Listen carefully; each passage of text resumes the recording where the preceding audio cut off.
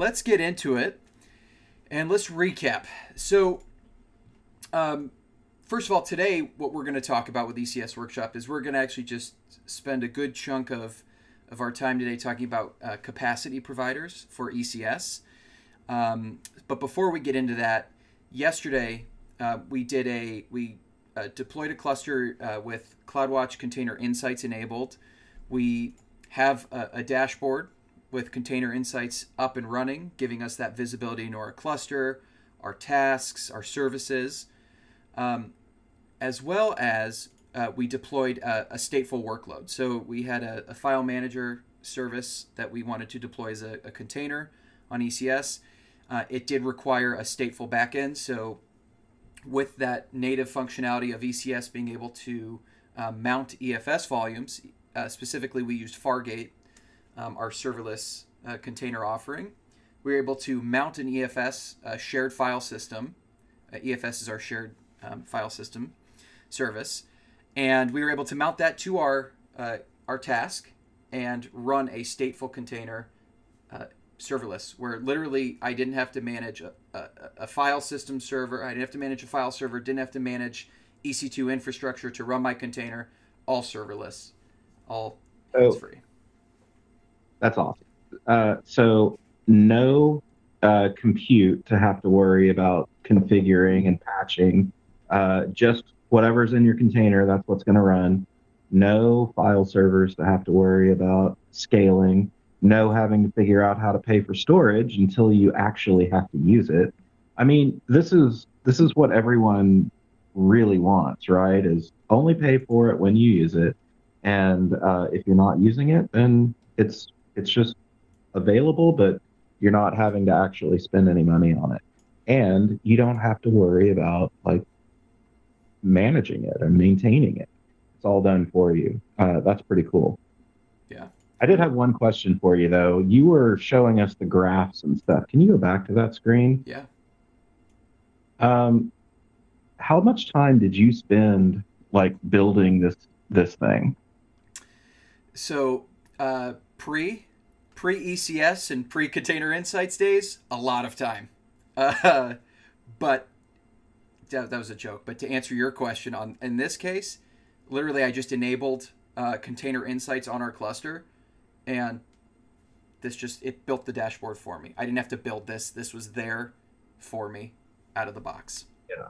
That's that's so cool because yeah, there you know, I can remember days uh, back in the, the my SRE days that we would spend so much time building out dashboards to put up on TVs and stuff. And and now like I'm, you could collapse that left sidebar and uh, totally put this up on a TV somewhere and you know have have the information that you need right at your fingertips and you didn't have to spend any time uh, doing anything. And then of course when you want to drill down uh, you have all the information available to you uh, to be able to drill down. So and you don't have to again you don't have to run a time series database. You don't have to run uh, log aggregators and collectors and uh, metrics aggregators and collectors and and all that other stuff. I hope you're sensing a theme out there, Twitch, um, that this is this is uh, we try and solve the common problems for you and turn them into just utility. You should just expect to have them, and um, then you can focus more on the stuff that you need to focus on your own application and its logic and and making all of that work. Yeah, well said. So yeah, so so this is the, the, the dashboard, and just to show you a couple of things is I can look at my cluster from a, a cluster perspective um, to get overall utilization. I can drive dive into ECS instances. So any of the if there's EC2 instances running my containers, I can check those stats. I can see services running in my cluster or clusters, so you can actually filter across multiple uh, clusters. And then I can get even deeper and look at the tasks. So remember we talked about this was I think on Monday or, or, or Tuesday we, we mentioned an ECS service is just a way to deploy a set uh, n number of tasks and a task is just an instantiation of your container or containers that you want to run as a part of that task definition so I, I, I can aggregate all that my tasks here i can see them uh, in real time, and I can always drill down per task as well. So if I just wanted to see what was going on with one task, I could do that as well. So really, cool. really neat stuff. Um, Very cool. All right, so so let's go, let's go back and let's dive into capacity providers. So, um, you know, I, I think you know, capacity providers came because there was a need. You know, customers that were building on ECS. Um, you know, one of the I would say the things I heard a lot was uh, that you know when when I'm managing ECS, I have to think about this is you know if I'm not using Fargate by the way, this is if, I, am using EC2 to run my containers. Um, I have to think about scaling at the the instance level, so that data plane level, I have to think about scaling out because as my applications need to scale out, I need to also make sure that the demand of the applications can be met with capacity from that backend uh, virtual machine EC2 infrastructure, right? So uh, customers were writing their own, you know, uh, auto scaling mechanisms to do this, to achieve this, and ultimately um, we released, you know, capacity providers with cluster auto scaling. So this now takes that two-faceted approach of when you're managing EC2, having to think about scaling that and scaling services. Now you only have to think about one thing, and that's scaling your services. So it takes again, as you said, now this becomes utility, Brent. Right? Like like you said earlier. Exactly. It, this becomes. If you, yeah, go ahead. Sorry, if you if you think about what is the logic that that you need to write, that you know, like before this existed, you said people were writing their own. What would that logic have to look like? Well, you know, you could start off by just looking at how do you know when it's time to scale out. And one way to know is you have a deployment that's just sitting there waiting and nothing is, you know, your your new containers aren't actually getting deployed. Um, so that's one signal. And then the second the second thing that you'd have to know is what size do you need to scale out to? You know, how much capacity do you need to add? So knowing the size of you know your containers um, is is uh, a factor that you need to to add into the equation. So you know uh, you'd probably have to come up with some logic that's something along the lines of how many of the largest container can you fit uh, on the remaining excess capacity, and if it's less than one, uh, then it's time to scale out. But then, you know, as we've been saying all week, scaling in is actually the harder part of the equation.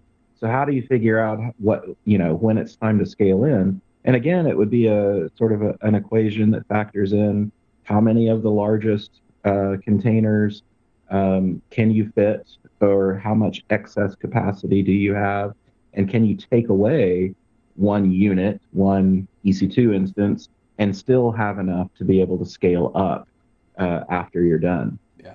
So there's all kinds of like relatively complicated logic that that you'd have to implement, and people have done it. It's not it's not certainly not impossible to do, but it's never been this easy. So now what we want is to just allow everyone to have this kind of capability without having to uh, really get super uh, deep into the trenches of you know figuring out all of this logic. And then you know keeping your logic updated with you know now you're suddenly deploying an even larger container than ever before uh, what do you have to go and change in your in your scale logic to to accommodate that? Well with capacity providers you don't have to worry about that. We will adjust you know for you so I think it's a really cool thing. You know, another um, another question that I uh, hear all the time is, uh, what if I want to use some spot and some regular? Uh, you know, I want to keep like a, a baseline of regular, but I want to be able to burst into the spot priced, um, you know, compute, um, so that I can, you know, grow, but not have to like have my costs grow at that same rate. So uh, I understand capacity providers might be able to help us with that too. Yes. Am I right? Yes. Teed it up, and I, will I'll knock it out. But yeah, so um, Absolutely. So the, the nice thing about capacity providers, and we'll, we'll dive into it for the, the cluster auto scaling piece, um, but you can specifically, and it doesn't have to even be for cluster auto scaling, but you can say you set a base and a weight. So I could set a base, uh, uh and you can have up to, I believe it's 10 capacity providers per cluster as your as your default. So imagine if I wanted to deploy a, a, a back end service, and I knew that five of those back end i always i need five running at all times that's that's my my lowest point but then anything above that would be great because it'll help us speed up our, our processing but it's not necessary so you could uh, using capacity providers set a base of five for capacity provider on demand so you're going to know that that's always going to be scheduled to an on demand instance let's say but anything let's say past that so then you could say for every one um, that I deploy after my base. Uh, I, you could have another capacity provider that only points to spot instances, to an auto scaling group that's all spot. And then you could say for every one, I want to deploy four on spot. So now you're getting a ton of processing and you're taking advantage of, you know, the cost savings with spot. And I like what you did there just just then. You actually didn't just say make all my burst spot you actually said make 80% of my burst spot exactly. and 20% is still going to stay on demand. That's an interesting concept. That's an interesting thought. So I didn't even realize that I did realize, but still, uh, I think it's worth pointing out that it actually can get to be that uh, sophisticated. So that's that's really cool. Yeah, yeah, that's a great point to, to bring up his spot. But um, so so what we'll we'll demo is two things. One, we're going to demo cluster auto scaling. So we're going to add EC2 infrastructure uh, you know, to our cluster, and then we're going to set up uh, cluster auto scaling there. But first, what we're going to do is we're going to set up a Fargate um, and Fargate spot capacity provider strategy. So we've been talking about EC2 uh, as our, our um, data plane, but we haven't really talked a lot about Fargate. So Fargate you know, relatively recently, within the past year, we announced uh, Fargate Spot availability. So it's a way to deploy Fargate tasks, but at spot pricing. So um, let's actually get right into that. And with capacity providers, we're going to see how we can deploy um, a, a, baseline of Fargate as our, our main baseline requirement tasks. And then, as I mentioned earlier, we'll have for every one Fargate task we will deploy, I think we set it to four Fargate spot tasks we'll deploy. So awesome. And by the way, uh, if you're live on Twitch right now, uh, if you have any questions, throw them in the chat uh, while Adam is is working on um, the uh, bringing this stuff up. I will try and uh, bring up any questions you guys have. So we'll be watching the chat for any questions. Perfect. Okay. So to get started, the, the first thing we want to do is we want to enable capacity providers on our cluster. So you can do this in two ways. One, the command line, or two, you could always go to your cluster in the console, click Update Cluster, and you can add your capacity provider strategy here. Now, I tend to not do things um, from the console. I tend to do them from the command line. So let's head back. And the, the first step is we need to actually create a, a capacity provider. So before we can even enable uh, a strategy, we need to uh, the capacity providers on our cluster. We need to create a capacity provider strategy. So, so a capacity provider is essentially just where am I going to get the compute? Bingo, exactly. And then the strategy will be when will I use that compute? Right.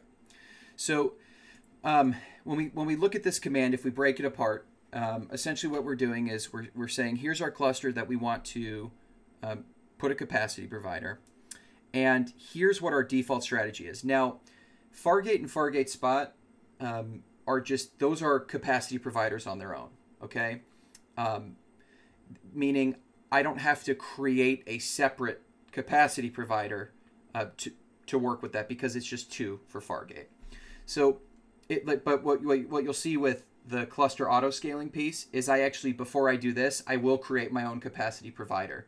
And we'll, we'll show you that uh, in a moment. And when you do that, you're, you're saying, here's my auto scaling group, um, and there's more details uh, there.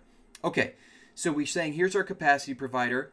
We want this to be our default uh, strategy of Fargate with a, a base of one. So when we say base, base is our our basically requirement. So in this strategy, I need before anything else takes place, I need to make sure that I have one Fargate task deployed.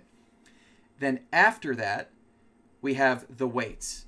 So the weight is basically that percentage of how many do I do I want to be running on one uh, capacity provider uh, compared to the other. Is there a question, Brent? I saw a smile. No, but I do think you could probably blow up the font a notch or two. Thank you. All right, let's do that. I did it. I did it three. So I think that's better. Okay. So if, cool. if it's still not good, let me know. Um, so so here what we're saying is what we want um, after we deploy our base of one Fargate task, we want for every one Fargate task that's deployed, four Fargate spot tasks.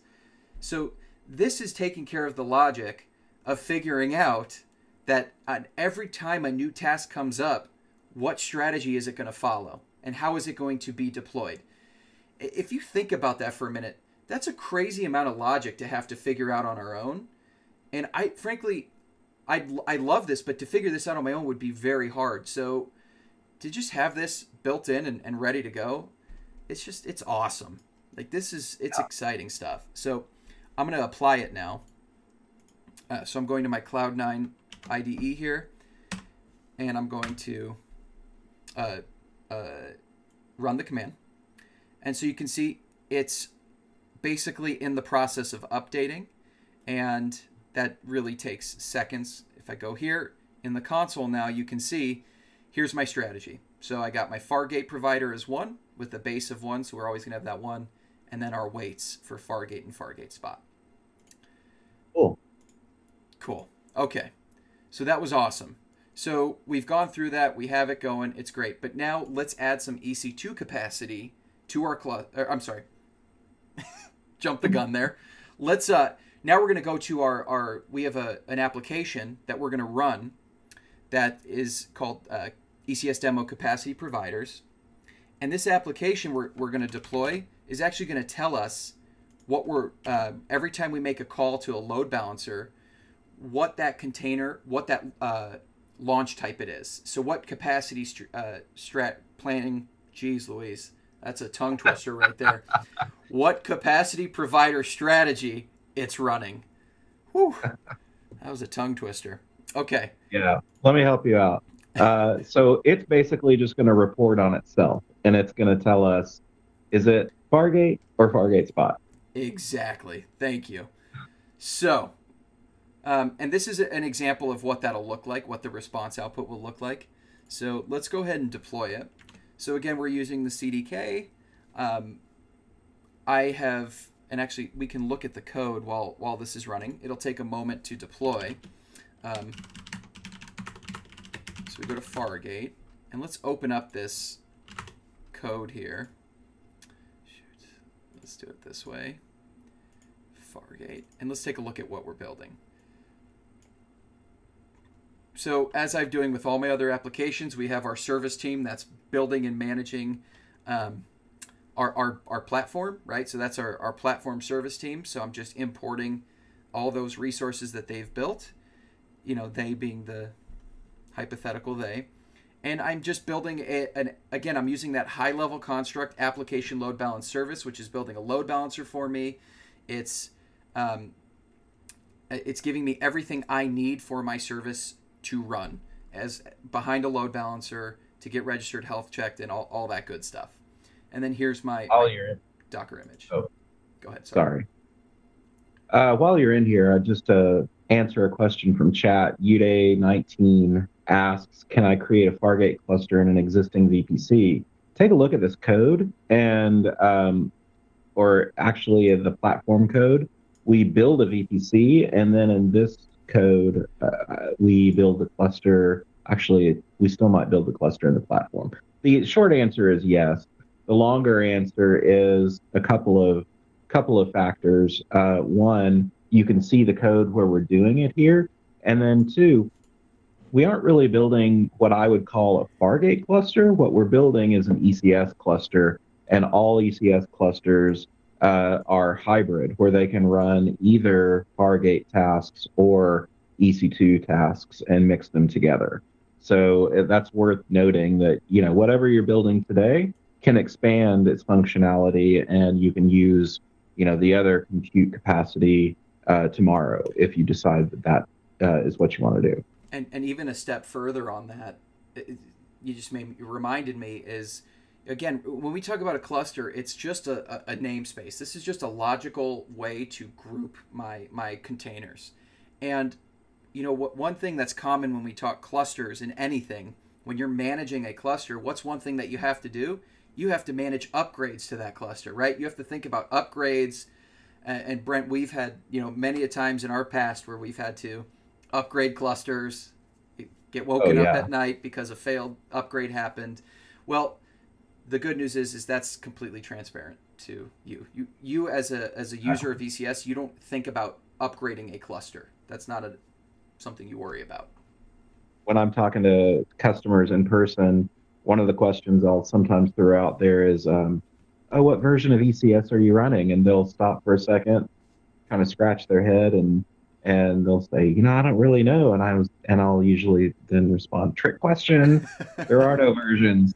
You don't have to worry about upgrades. We just handle that for you. You never even realize it." So yeah, that's uh that's one of the cool things about ECS is you know you aren't tied to a specific version and uh, you don't have to worry about how, figuring out like a maintenance window to to upgrade all of your you know control plane nodes or anything like that. Um, so yeah. We've had a couple other comments just saying hi in the chat and then bob moff uh, uh, apparently uh, agrees with us and loves uh, the cdk cloud development kit. So cool. that's awesome. Yeah i i just i, I I could literally talk about CDK all day. I just it's so much fun. I, I I'm just weird, I guess, but I guess Bob gets me. You know, Bob, we're on the same page. totally, it's not weird. It's you've lived through the pain, right. and now you just want everyone else to understand how much better this is. Exactly. Um, okay, so our service is deployed. One other thing I did want to point out is we do set the platform version. So with Fargate, as we improve functionality, we may release a new version of, of the Fargate platform. Um, but what's great is when that come when it comes to upgrading that, you simply switch your version, and then your task the next time it deploys, it's going to deploy to that that new version. So. Yep, and if you don't want to worry about doing that, you can use latest. Exactly. Okay, so we have deployed our service. Um, so what it gave me was was a load balancer URL in the output here, and let's let's move this terminal up, and let's let's do a curl, and then we're going to pipe it to JQ, which will make that JSON pretty. And we can see that it's it's kind of hard to read. Let's actually go here. Is let's zoom in. There we go. Okay. So I'm, this is my load balancer. This is the application I deployed let's take a look at everything that, that's in our cluster. What what this application does, this service, is it scans all the tasks in the cluster and it checks what the, the, the strategy is that that particular task is using, what capacity strategy. So some may have their own outside of the default. So in this case, though, what I'm doing is I'm deploying a task to the cluster and I'm using the default cluster strategy. This is something I didn't bring up earlier is if I have other tasks that I want to use a different capacity provider strategy for, guess what? I can. I don't have to use the cluster default. So that's just another cool thing that you're not tied to, you know, what's set as a default on the cluster. You can go outside of that and do your own. You might have some critical tasks that you want to guarantee are always executed on on demand um, and you might want those to follow one strategy, possibly the default, possibly not default. And then you might have a different strategy altogether that you could set for like, you know, some other slightly less critical tasks that are more ephemeral and you're willing to be a little bit more risky with just because uh, you want to save some money. You're telling me that you can do that? Yep. Exactly. Exactly. So it, pretty neat that that you have the control over how you do this, right? Like you're not just tied to the default. Okay. So, here's let, let, us just take a look at one of these. At first I'm going to actually refresh a couple times so you can see down here this is my ARN and then my strategy. So every time Oh, there we go. I just landed on a Fargate spot container. If I do it again, Fargate spot, Fargate spot, Fargate spot. We have a lot of Fargate spots, and there's Fargate. So, looking at these these tasks here, if we count them, we have one, two, three, four, five, six, seven. Did I count that right? And then one, two, three Fargate tasks. So I said I want my base of one, so that gives us nine. And then for every one, I want four. The math's a little tricky here. I'm, I'm kind of I'm kind of losing it here in the math. but the bottom line is we're achieving that strategy. Okay. For every one uh, on demand Fargate, we're gonna get an additional four uh, spot before we get the next one on demand Fargate. Exactly. exactly. So imagine five buckets. One is on demand, four are spot.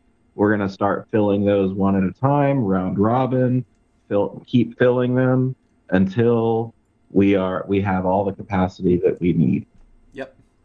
And so here we go. So that's pretty cool. So using capacity providers, I was able to deploy a Fargate task, a, a service that all I all I ask is that you know for every one we have four spot uh, spot in, instances of that running, understanding that if Spot needs to reclaim capacity, I'm totally cool with that because I have my baseline of Fargate services running.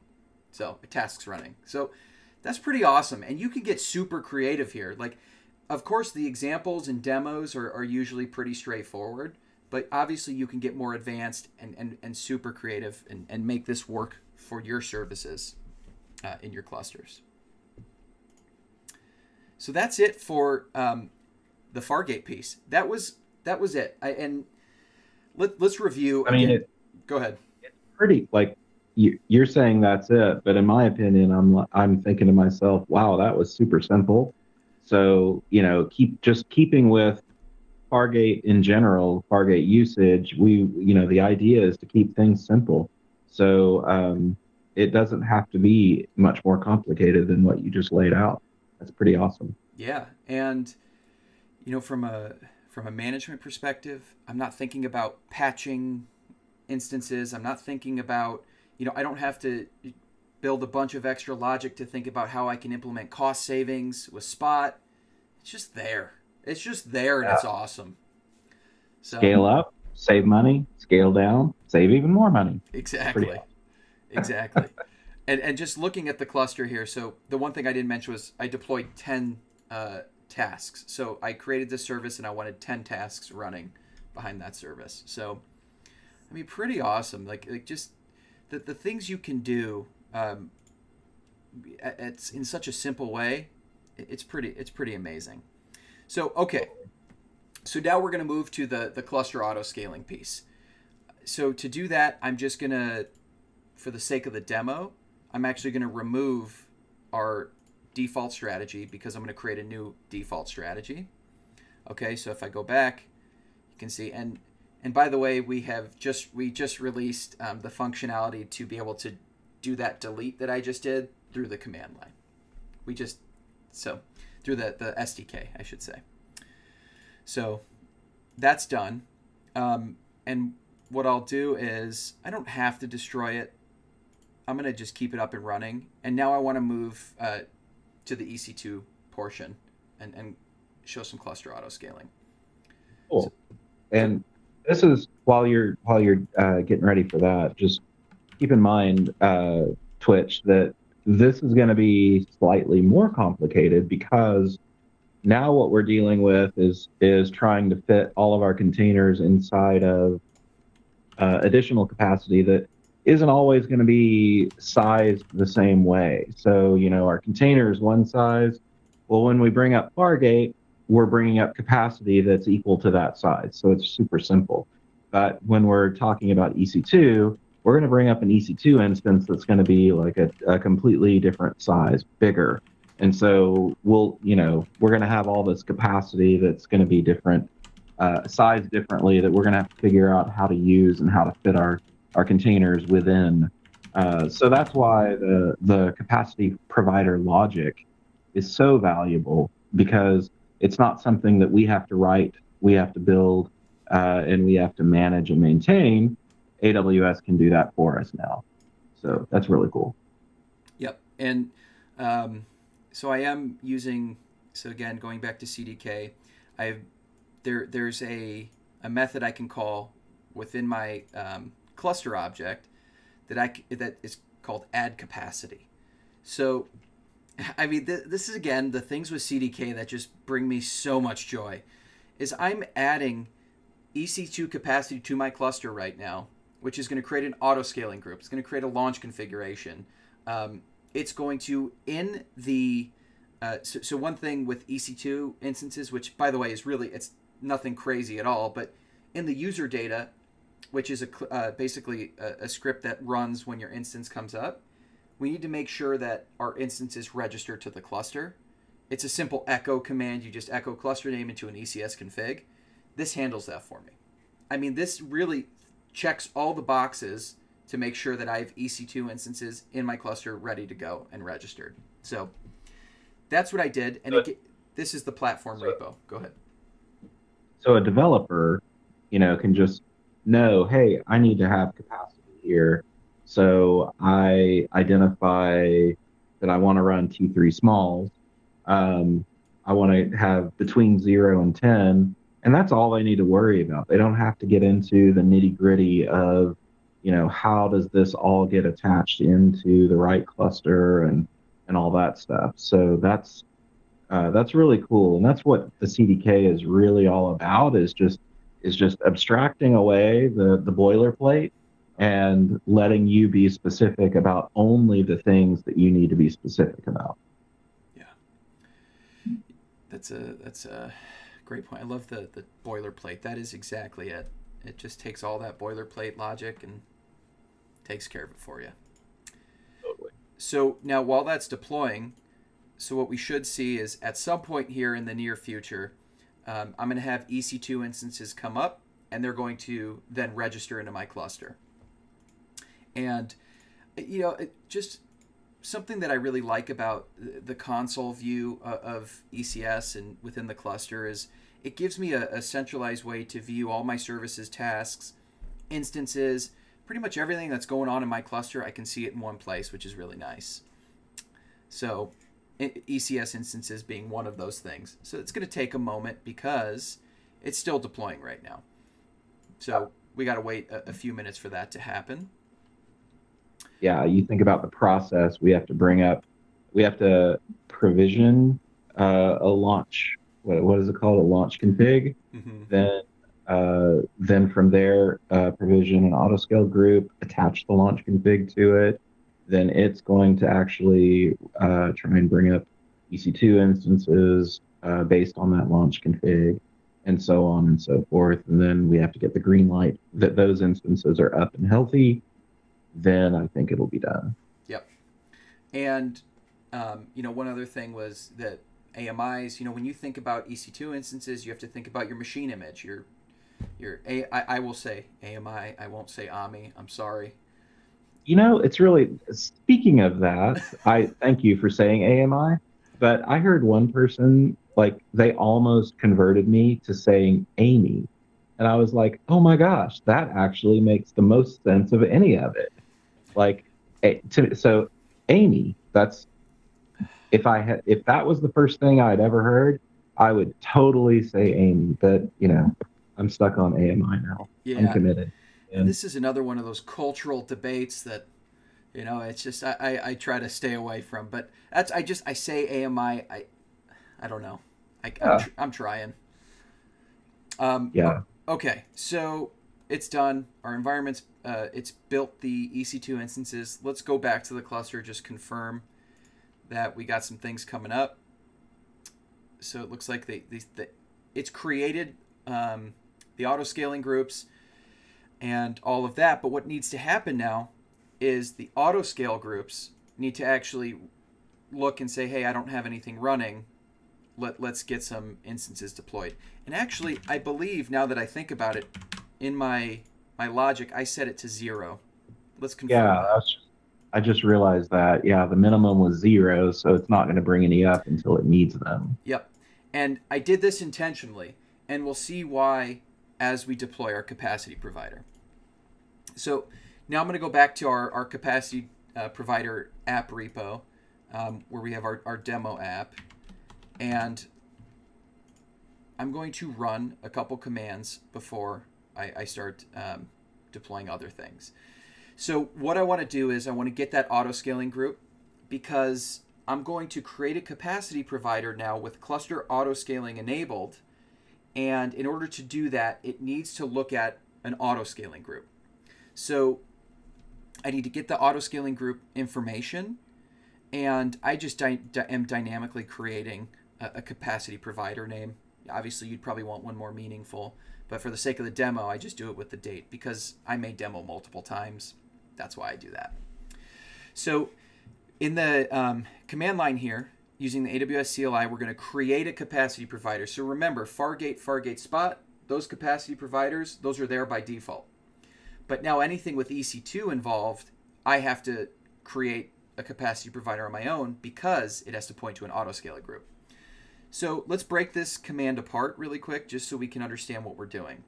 So we're creating the capacity provider, we're naming it, and then we're saying some of the details of how we want this um, capacity provider to function. So we're saying here's our autoscale group. Do we want managed scaling enabled? So you, you don't have to have managed scaling enabled. You could still, if you wanted to do cluster auto scaling on your own or not do that, you could. But in the case here, we are enabling it. And what we're saying here in the next uh, portion of the command is target capacity, and we're setting it to 80%. So target capacity is basically saying I want 20% excess capacity at all times.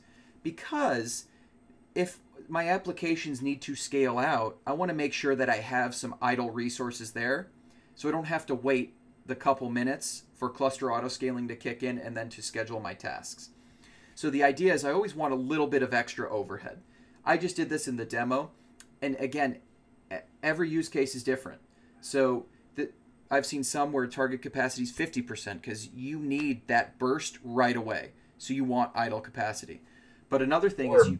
Blue green deploys might actually encourage 50% because you need to double your capacity on every deploy and then take away, you know, the old uh, version afterwards. So that would almost suggest that, you know, you need at least 50% excess available. Yeah, great point. Great point. So that th- these are um, things that, you know, just depending on your situation, you you tweak it as you see fit. You can go 100 too. Uh, you know, you could really just say I don't want any idle capacity. And to me, that's the ideal state. Is I want 100% um, utilization. I don't want to pay for anything extra until I have to. Um, and then there's one more. what, what's what's so funny? Was it? Did I say something? No, I just happened to look at the the chat and and someone uh-huh. said asks, and I'm gonna I'm gonna get this. Uh, it's funny. Do you say API or API? And it just struck me funny. So uh, so yeah, thanks for that. Um, I, I feel like now I want to try saying happy um, all the time. Let's so, see. Let's see if we can change it, and let, let's let's let's start the movement right here, right now. First time I go back to an AWS office and talk to a developer, I'm going to say happy and just see how long I can get away with it before they before they actually say something to me. And you know it's going to be uncomfortable for a, a few minutes because they're going to be like, oh, "What is he saying?" Like, and then at some point they'll probably say, Brent, are you saying API? You'd be like, yeah, API. I love that. That's awesome. Can't wait. Oh, that's good. Uh, if I, I hope be on I'm my there. to-do list. It's going to be on my to-do list until until we go back to the office. Yeah, and I want to make sure I'm there when that happens. Please let me know.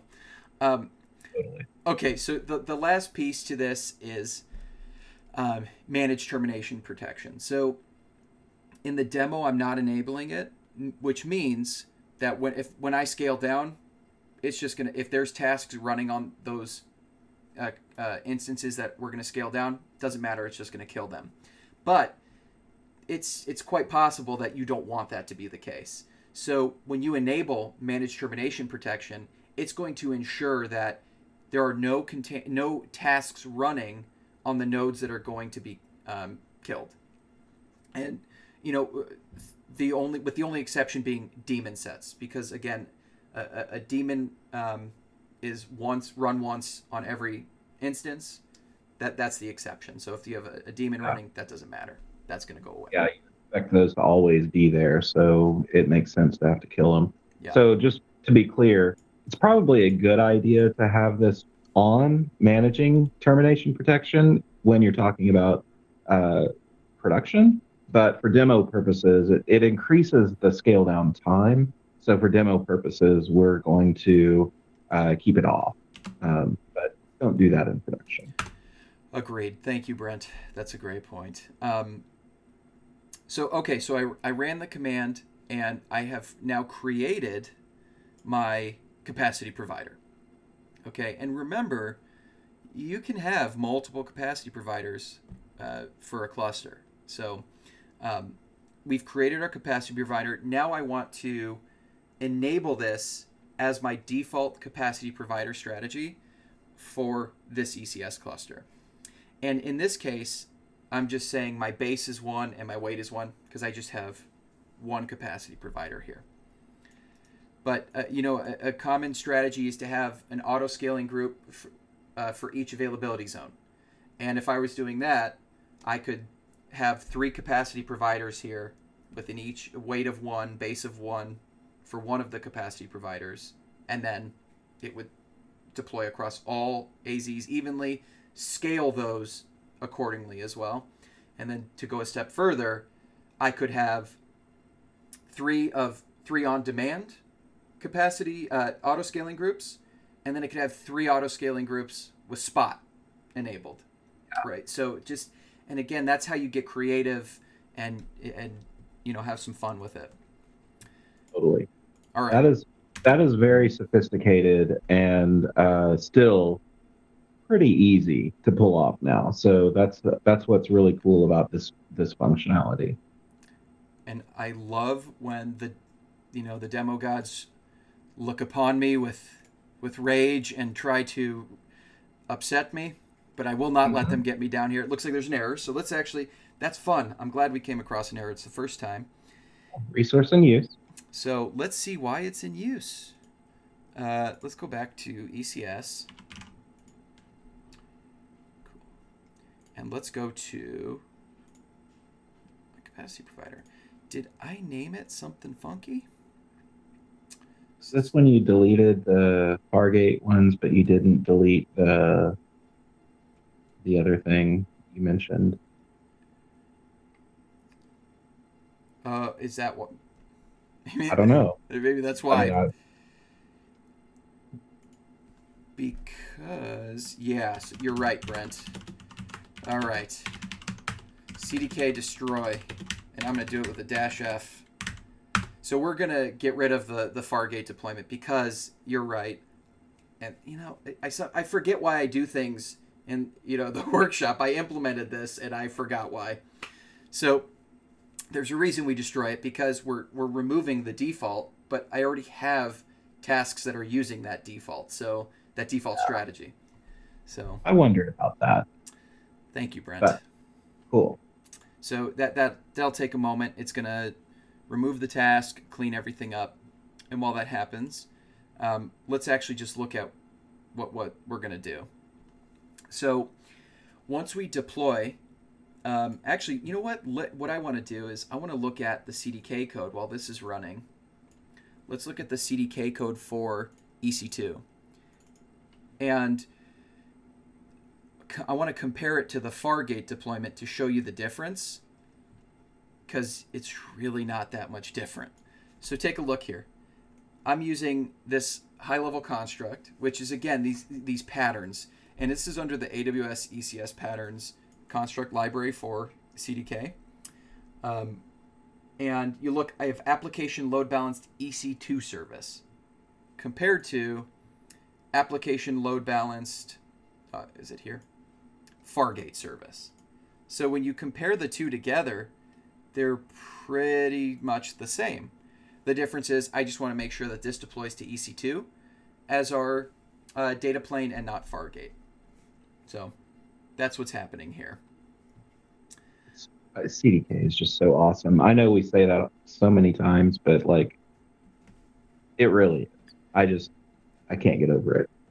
It's fun, and and you know if, especially if you if you don't want to, you know when we think you know application first as our our tenant, like to be able to write my or deploy my whatever it is I want to deploy my service as a container or whatever it is I want to deploy it as to be able to do that in the language that I'm either writing my, my code in or a, a programming language in general that may not be what I'm writing my code in, but it's a programming language, that's pretty powerful.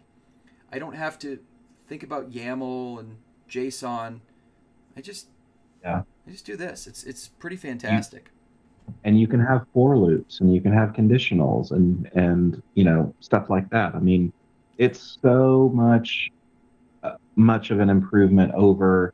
I mean, I've written tons and tons of Puppet. I've written tons and tons of Chef. Uh, tons and tons of Terraform. That was extra emphasis, by the way. And uh, I mean, I loved Terraform when I started using it because it was it was so great. But if you think about like all the parts of Terraform that you would have to write to do what we're doing here, it wouldn't be a dozen lines you know? Like this is a dozen lines. That's that's what's incredible about it. So um, yeah i love that that this exists today. It's just a constant improvement and a constant uh, you know move up uh, in levels of abstraction yeah that's ex- yeah it's it's just you're you're you're moving up where you're abstracting more and more of the stuff that while it's important I don't want to know about it. I don't want to have to be an expert in all these things. So just get me as close to my application as I can be with, with doing the, the, the minimum um, that I have to do. So, yeah, that's a great point. And, and while Terraform's amazing and, and CloudFormation are amazing, um, I, I have to think about every single component when I'm building building those. And that aside, just to be able to, to have my logic, you know, at the, to add, as you said, for loops and, and conditional logic in, in a way that's native to a programming language, that's, that's pretty nice. So, anyway, we're still waiting for our resources to delete. Um, that it just takes a few minutes. It's it's deleting the load balancer. Let me see if I have it. It looks like the service is completely gone, so that's good. I don't see it yeah, you might be at a stage where you can go ahead with your next deploy. So let's, yeah, let's give it a shot here. So we will go here, and let's let's let's see if we can run that command again. Okay.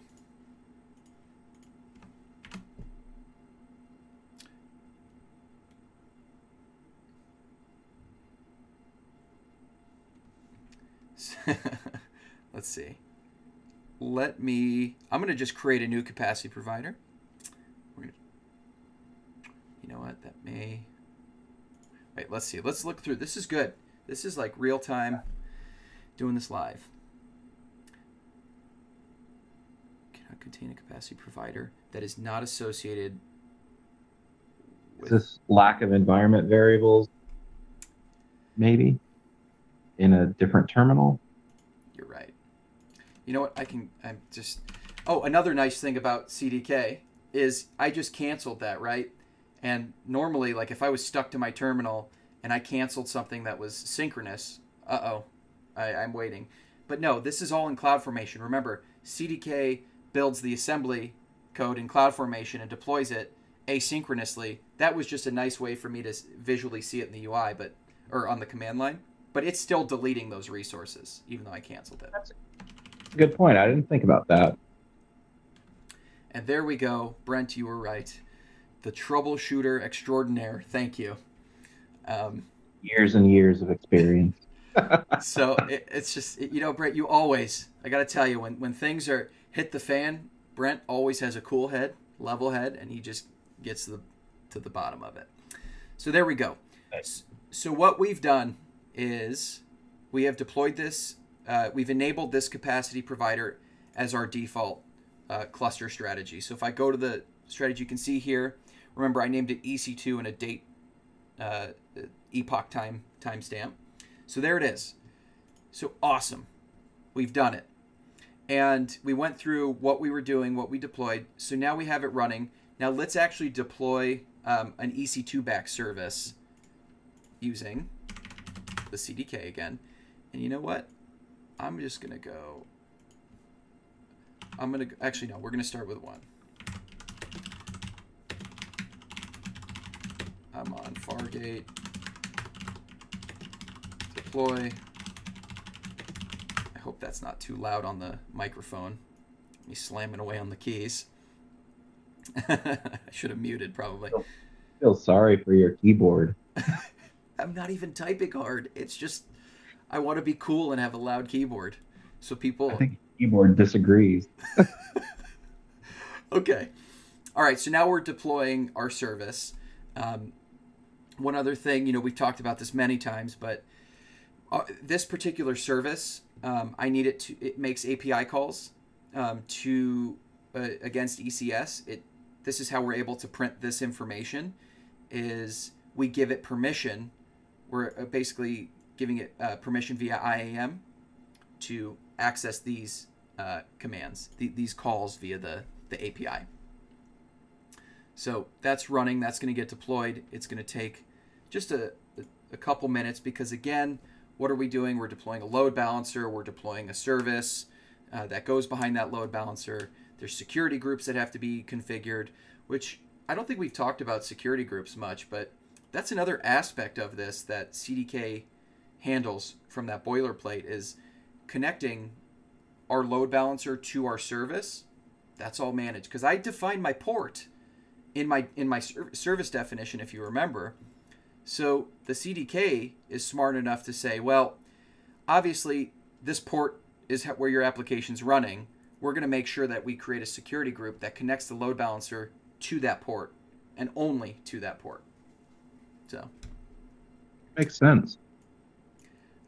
All right. So that's going to deploy for another minute or two, and then we'll, we'll what we'll do is we'll examine it. And the key here is, let's go back to the console because that actually reminds me. Is if you noticed when we deployed the auto scaling group, we deployed it with zero instances. Do you remember that? Mm-hmm. And in our capacity provider, I said I want 80% or I want that extra 20% of overhead at all times. So look what happened the second I enabled the capacity provider on this cluster, it talked to the autoscale group and said, we don't have any instances running. We need to set, we need to have that 20% buffer. So it, it launched those instances. It modified the autoscaling group to launch the instances, instances to give me that buffer right away, which I thought so was cool. pretty cool, right? So I mean, it basically puts instant manage instance management on autopilot almost. Yeah, yeah, it really does. So that's running. It's just gonna. It takes a few minutes because of my blunder earlier. But um, so what we'll see is is uh, I, what I'm going to do is once it's deployed, we're going to see there's going to be one task running, which is okay because we have plenty of capacity to support that one task running, right?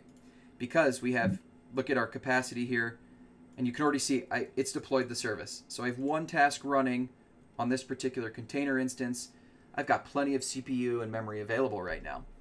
But what happens when we need to scale to 10 and we don't have enough capacity? And so that's what we're going to see. Let's find out. so here's our service, and you can see it's it's in the process of, of coming up. And we'll, we will find out in a moment, I promise as soon as as soon as the deployment's done. So we can take a look here. It looks like, and another cool thing is when you drill down into the service, is if you have a load balancer, it's gonna tell you what what target group you're, you're pointing at. Um, like just all these things that are, I think, you know, when, when you go and drill down in the console to a service, you want to know all this stuff up front. It makes it very easy to understand where do I need to go if I need to troubleshoot something. But also, it tells you here's your capacity provider strategy. And because I can set that when I deploy a task, I didn't, and it it wound up using the default available. So, all right, we have our task running. I'm feeling like this this will be done any minute. Um, and actually, what we can do is, in the meantime, I just want to go to the load balancer, and we can actually see. Let's go to our load balancer. I'm in the console here. We're, we're approaching 1, but the good news is we're approaching 1 p.m. Pacific. We're going to go a little bit over today.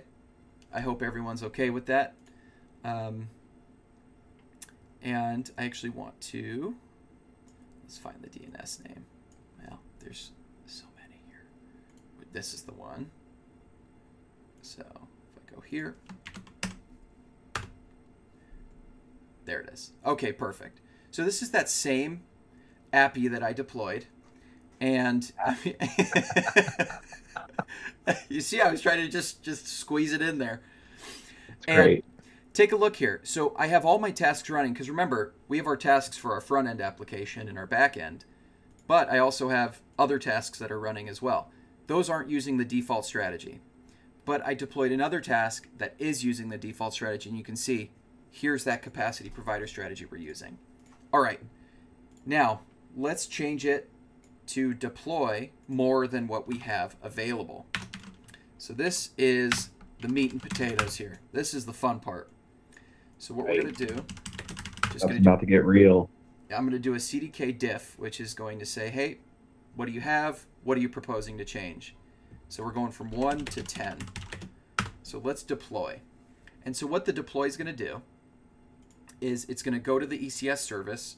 It's going to modify that count from 1 to 10. And what we'll see shortly thereafter is pretty quickly we're going to see so here's our service count. It's changed. Now the ecs scheduler is going to recognize we need 10 tasks running. Let's start to plan for that and let's get them running. And we'll look up here in our uh, cluster view and we'll see we should be able to schedule most of those pretty quickly. And we did. We have six tasks for this service running right now. They're ready to rock and roll. But what's going to happen in the next minute or two is uh, the capacity provider of the cluster is going to recognize I have four tasks that are in a provisioning state that need resources of e- uh, EC2 compute resources that aren't available.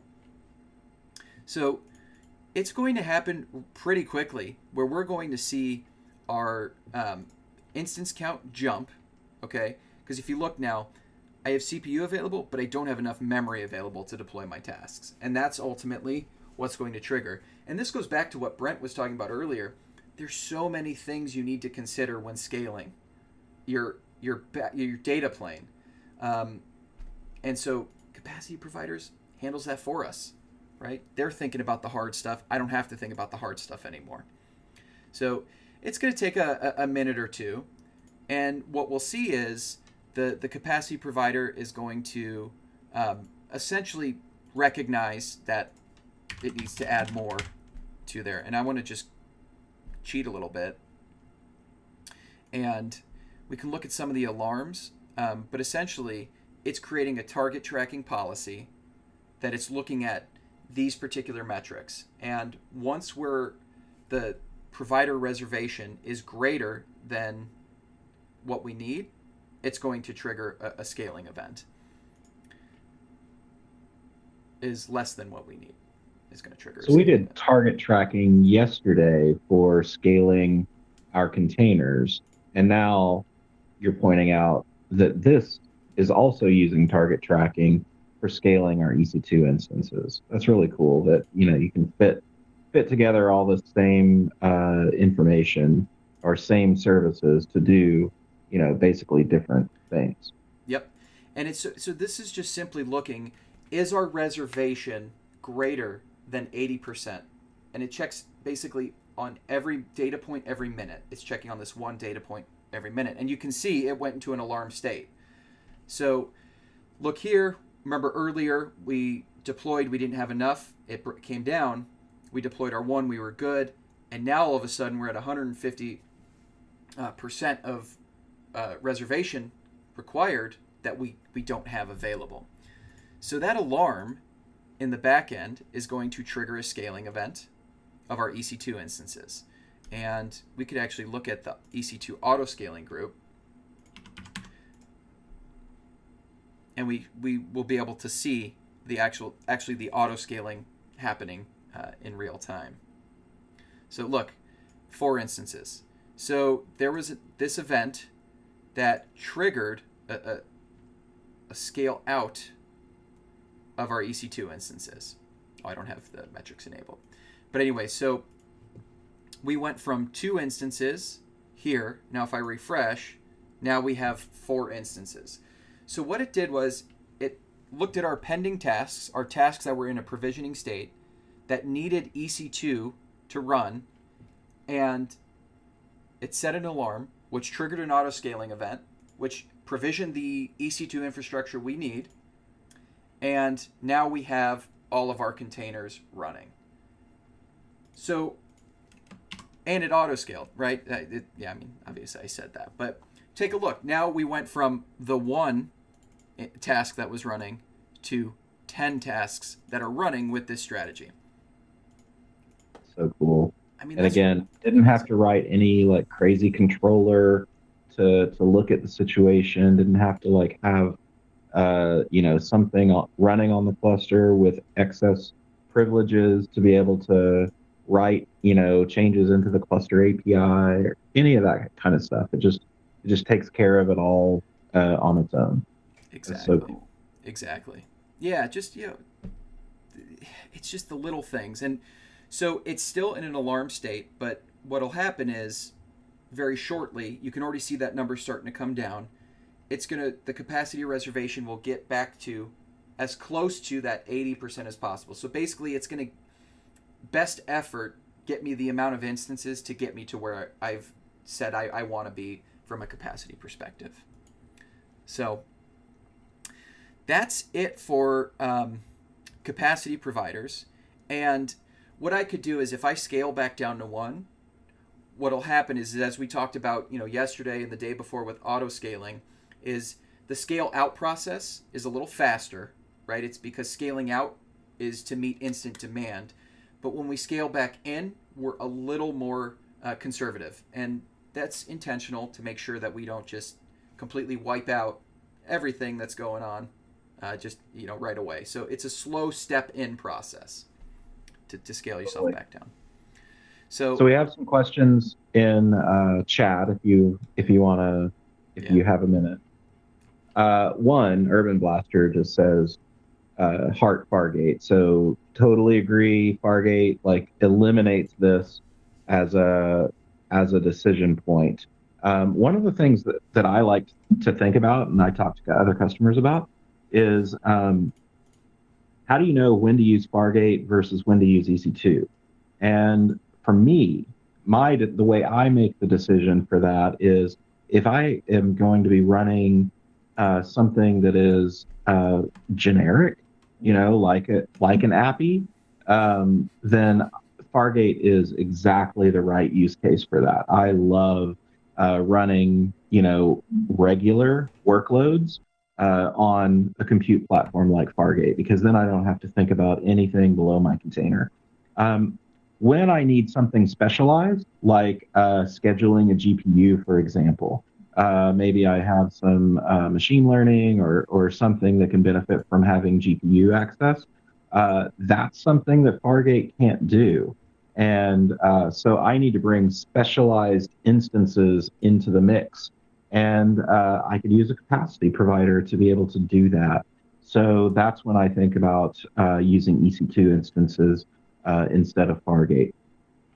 TrueSec123 uh, says, why use EKS if this is so well integrated uh, machine learning or, or something that can benefit from having GPU access?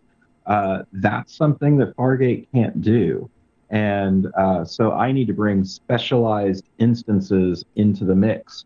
And uh, I could use a capacity provider to be able to do that. So that's when I think about uh, using EC2 instances instead of Fargate. TrueSec123 uh, says, why use EKS if this is so well integrated with AWS? And again, it's a similar kind of question with a similar kind of answer. Uh, the difference, though, is the scenario. So we have two uh, terrific orchestrators that we can use to manage our containers. And really, uh, you know, if, if I have a customer asking me which should they use, I usually turn it around and ask them, you know, are you using uh, all are you all in on AWS or do you have workloads that run outside of AWS also? And that is like my first decision point for figuring out what orchestrator I might want to use. If I'm all in on AWS, I think ECS is a terrific choice. It has it has incredible integrations. Um, you know, turn on service discovery, it's a checkbox. Turn on uh, you know, capacity providers, you saw how easy it was. It was slightly more than a checkbox.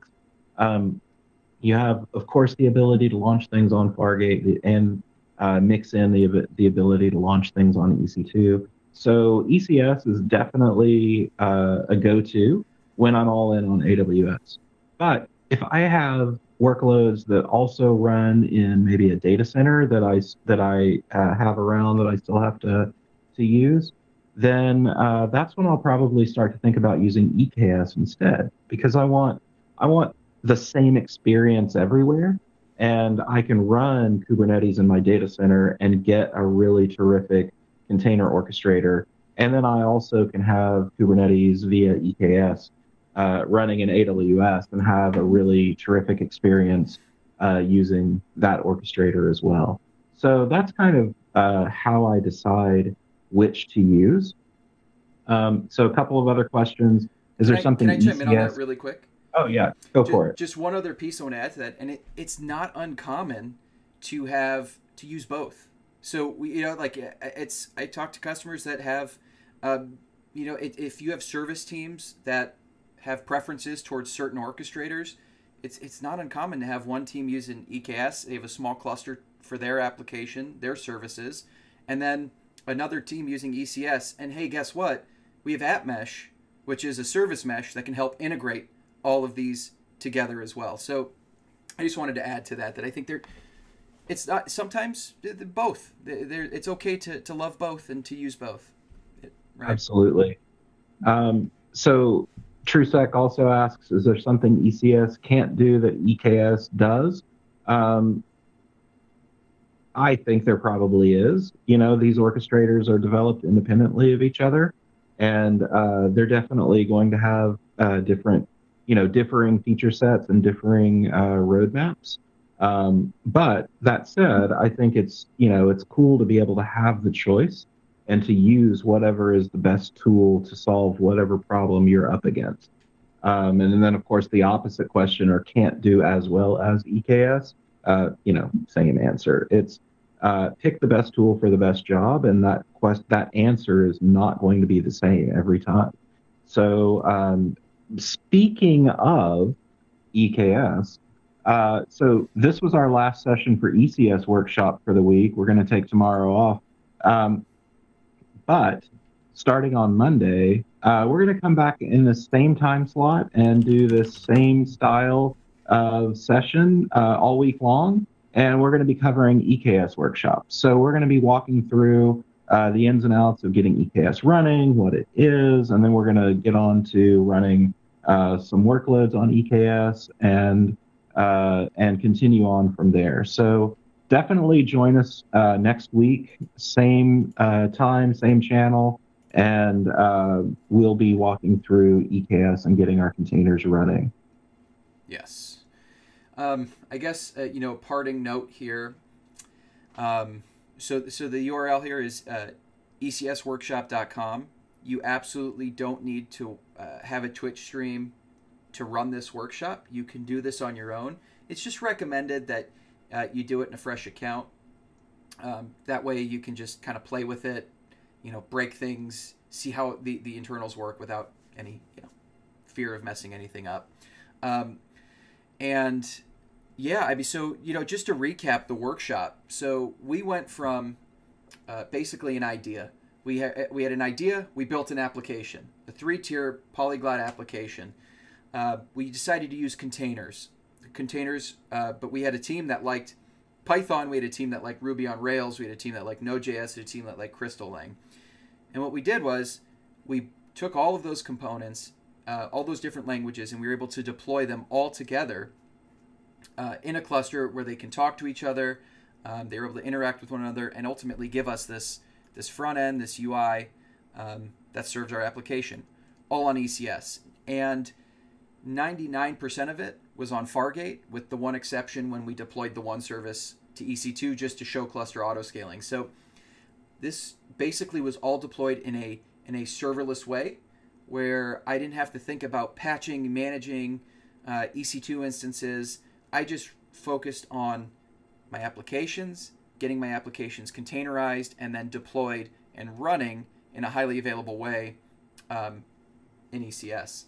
So we also and when you did go ahead. when you did deploy to EC2, you still used a managed AMI where we, you know, will constantly uh, be updating that AMI ID with whatever the latest uh, version of our AMI is. So um, it's a good way to go. You know, it's uh, it's it's as hands off as uh, as you can get, and definitely um, advanced level when it comes to you know reducing operational effort. Um, one last question. All is dark in the chat says is this similar to scaling Dynamo, uh, WCU, and RCU? Um, I haven't looked at that in well probably years at this point, but it's similar. Uh, I would actually say our equivalent of that would be scaling based on, let's say, incoming transactions per second or something like that. And what we did uh, in our examples here uh, was, and this was just for demo purposes, we picked a metric that was uh, readily available to us. We, we scaled based on CPU utilization. Uh, but other than that, it's, it's basically the same same idea. Yeah. Yeah. The idea is we want we, we, we need EC2 in this use case to run our containers, but we don't want to have to think about scaling that in and out. So we let capacity providers handle that for us. So same concept. Obviously, just you know, from a technical perspective, there's there's differences, but same idea. All right. Uh, join us next Monday, and we'll be back uh, talking EKS. Uh, until then, have a good weekend. Thank you, and follow us on Twitter if you want to see updates and, and talk about cool container stuff. All right, everybody, thank you so much.